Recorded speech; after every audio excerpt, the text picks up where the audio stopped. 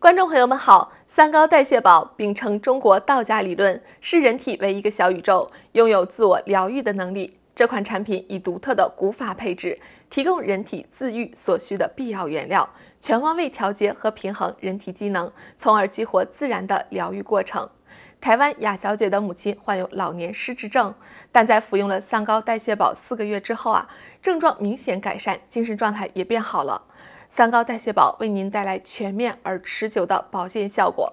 众多见证者反映，不论是高血糖、高血脂、高血压、高尿酸、痛风，还是慢性发炎，使用后都有显著改善。了解更多详情，请关注健康五二零官网。干净世界和油管上面的观众朋友们，大家好，欢迎大家来到今天的财经漫谈，我是童心。马上就到圣诞节了，提前祝我们的观众朋友们圣诞快乐。就这两天，在圣诞节之前，我突然听到一个古老的传说，以前还真的没有听说过。说是在冰岛啊，有十三位圣诞老人，但传说中啊，他们并不是正义和善良的角色，他们会在圣诞节当天在全世界游荡，吃掉调皮捣蛋的小孩。最可怕的是啊，他们养的宠物是一只黑猫，会吃掉圣诞节没穿新衣服的人。这个版本啊，一点也不像是传统的圣诞节的版本，听起来倒像是万圣节的版本，或者是啊，服装行业推出来的促销故事。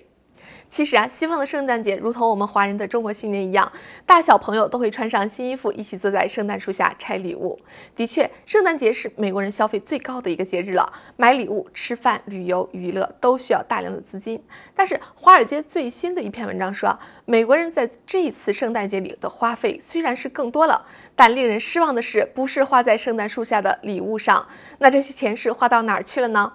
美国银行的银行卡数据显示，虽然玩具和电子产品的价格在圣诞节前开始回落，但是人们在餐饮、娱乐和门票上的花费却大大的增加了。上个月的服务消费是增加了百分之二点五，而不包括餐馆在内的零售消费啊却是下降了百分之一。这就是什么呢？就是买礼物的钱减少了，但是能和朋友、家人一同共度美好时光的消费增加了。这看起来是个好事儿。金融专业人士啊和经济学家也这么认为的。他们说啊，与购买物品相比，把钱花在体验上。上能带来更持久的快乐，但是毕竟是花钱，整体玩乐成本的增加可能会让一部分预算并不那么富裕的消费者感到了沮丧。那有聪明的观众就会想，今年这种消费支出的变化是人们心态改变，还是物价出现了问题呢？究竟是哪一个因素造成的？别忘了，我们现在还处于通胀之中。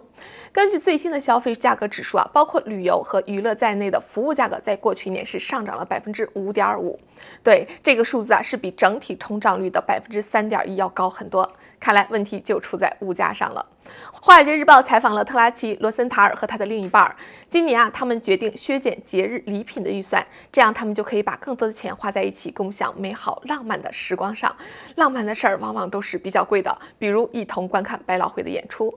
那此消彼长，但这个此消彼长的幅度是多大呢？特拉奇说啊，他将送给同事的礼品预算削减了百分之四十，还减少了他通常给大楼门卫的小费。但是尽管如此，他估计自己的节日开支啊，已经比去年增加了大约八百美元。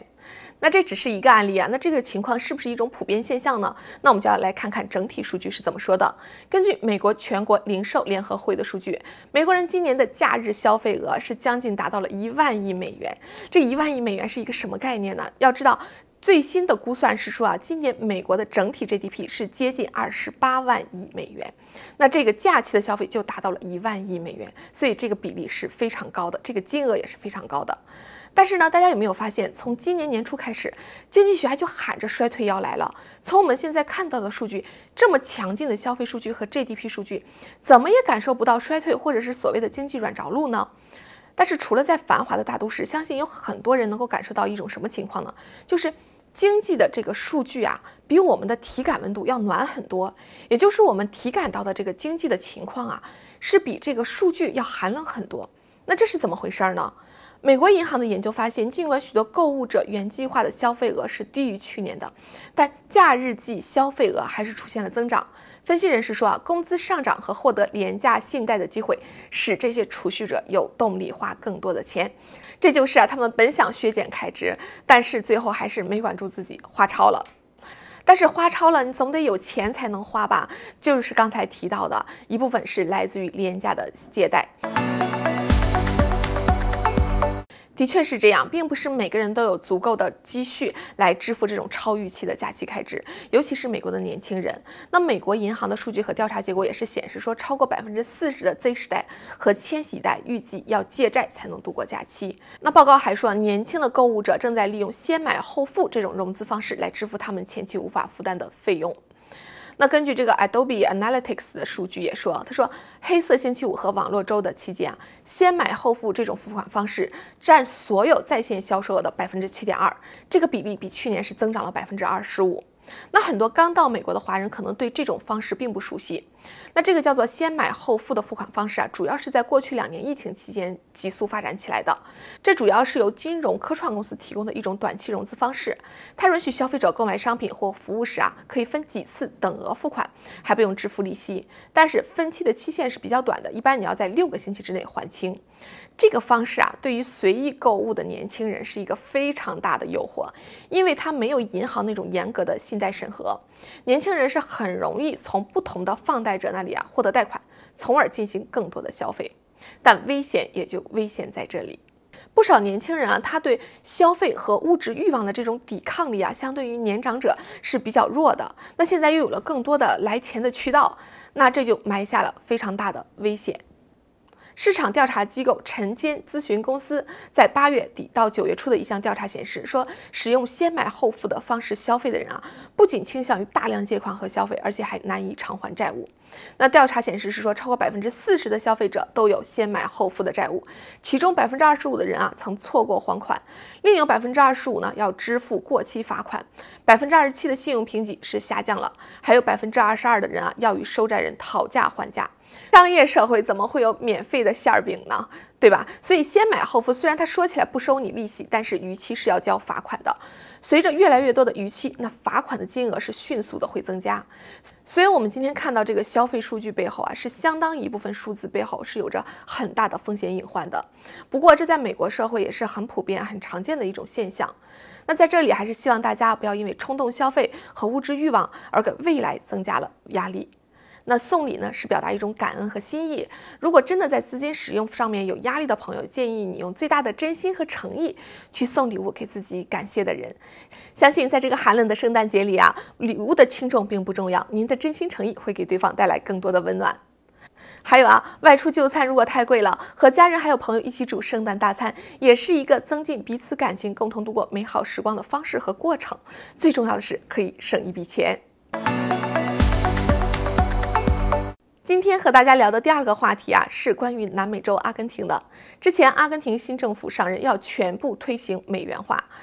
那最近中共和阿根廷也是在这个问题上哈关系变得非常紧张。那中共跟阿根廷是在今年六月签署了规模为一千三百亿元人民币的货币互换协议，就是为了推动去美元化和人民币国际化。但是现在哈半年不到，米莱上任了就来个大逆转，要在太平洋的彼岸开始打擂台了，在阿根廷全面实施美元化，这让中共又气又恼。十二月二十号下午。中共外交部的例行记者会上，有路透社记者就提问，他说啊，关于中方搁置了中国和阿根廷之间大约六十五亿美元的货币互换协议的安排，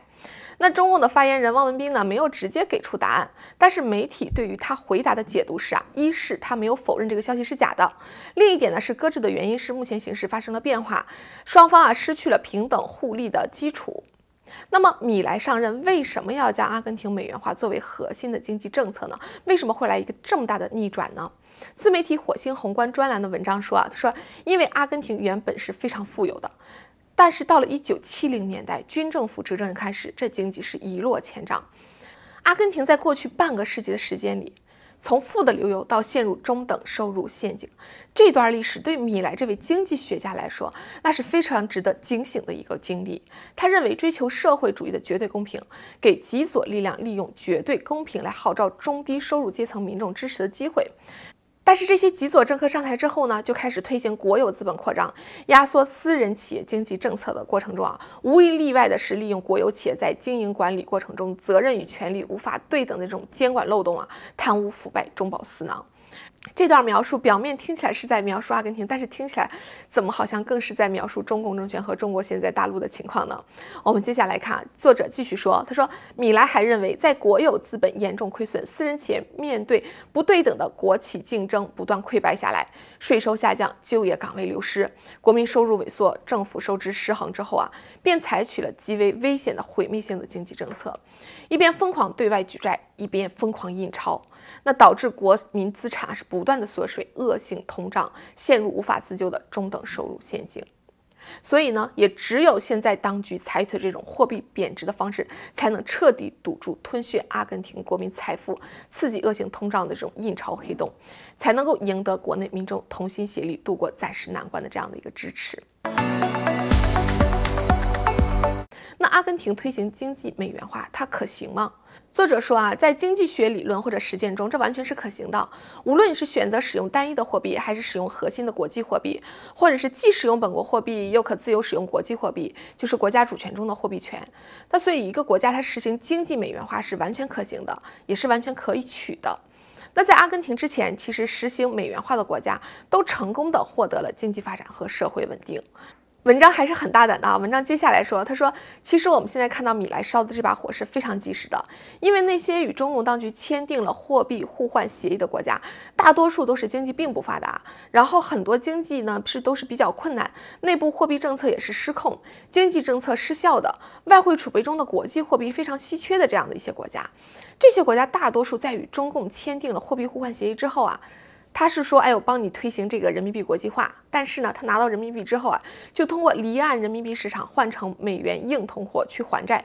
或者购买他们紧缺的西方物资等。那从这个角度看，其实也有些讽刺啊，中共现在是被自己的政治野心逼到了一个极其危险的境地之中。其实现在市场对阿根廷是充满期待的，因为如果阿根廷全面推动美元化这样一个举动成功了，走出了中等收入陷阱，这将成为一大批发展中国家改朝换代的范例和模板呢。所以让我们拭目以待。谢谢观众朋友们，以上就是今天的节目。在节目结束之前呢，也给大家做一个通告。虽然下周一周二对于很多人来说还是假期，但是我们的节目会继续保持更新。希望您能够持续关注我们的节目，也谢谢您的观看。我们下周一再见。